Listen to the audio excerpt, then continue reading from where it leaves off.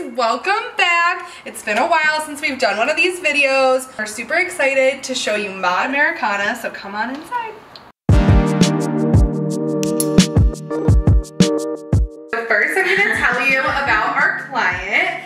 Um, she contacted me about six months before we started this remodel. She was like, oh my gosh, I ordered appliances and they won't fit in my kitchen and I really want to remodel my house, but I don't know if I can afford it. And like, she just really wanted to create her dream kitchen and we really wanted to create that for her. But basically she had a galley kitchen. So one of the first things we did is we decided to take the wall out and then also she came to us with a couple design pieces she already picked and one of them was the tile. So we were working with this blue kind of pink red um, yellow palette for this space. So obviously we wanted to take colors from the tile, we didn't want to match exactly. Yeah. We wanted to just stay in the family of the blues. Yeah. And then add any other colors that we could add, you know, just working with it because obviously we went for these very mod orange lights, but it's kind of a pinkish kind of terracotta color in the tile. But that's the other thing about design. You do not, things do not have to match. They just have to be in the same families. Over here, we have our command station. So everything is really organized. This is the kitchen. Um, the layout was kind of tough because our client wanted their sink to be in the middle so she could look out this way, but we really wanted to push her to offset the sink so she has a better view and that way the functionality of the kitchen just works a lot better as well. Um, this actually used to be a wall that covered this, so this was not a space, this was actually in their garage, and so we decided to actually add an addition and push the oven back in there because we had limited space here and we just really wanted the kitchen to feel good and open and flowy and light. Our client loves to bake and in her old kitchen she had very little counter space. So what we did is we added as much counter space as possible and this is why we set the kitchen up this way because this is really how it's going to be used. Her favorite thing to bake is cinnamon rolls, so we have presented cinnamon rolls. um, here is where we knocked out the wall and put the stove. Um, and the microwave. Um, they were kind of going back and forth whether they wanted the microwave here or a hood. It's always like a rock, paper, scissors shoot sort of situation between couples when they're choosing things.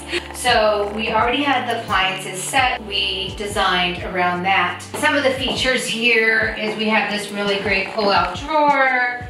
is really great.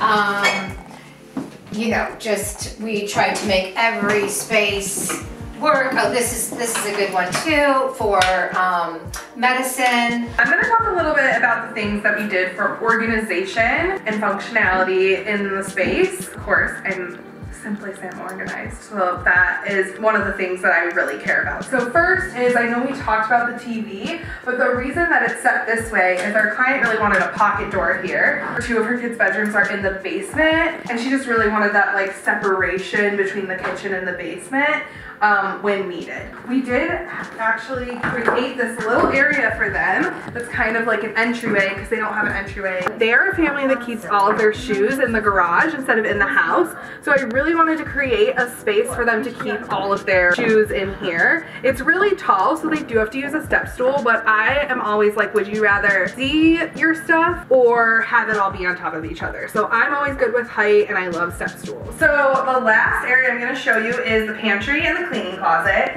And our client like didn't even really have a pantry before. They had an Ikea cabinet. We were able to create this amazing space and obviously we organized it. And then if we come over here, we created a cleaning closet. And this has all of her extra paper towels, paper products, just everything she needs for cleaning, and then of course the dog. And then over here we have a spot for like the vacuum and the mop and the broom, and all of that. And it's just been very functional for their family. She just keeps telling me how amazing the functionality of the kitchen is. One thing that we're super excited about is these lights.